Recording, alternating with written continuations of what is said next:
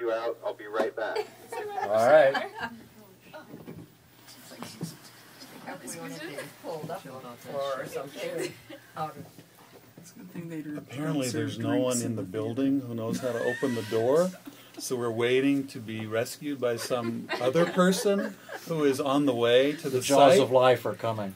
So um, apparently, there's some magical trick to opening the doors. Now we have two choices. We have the one to the north and the one to the south. Neither of which is cooperating at this moment. We have traveled from the street level all the way to the third floor, and we've asked the elevator very nicely several times to let us out, are, but it won't do it. And at this moment, we're being watched by this camera right here. but it doesn't matter. They're still not letting us out. More developments as they occur.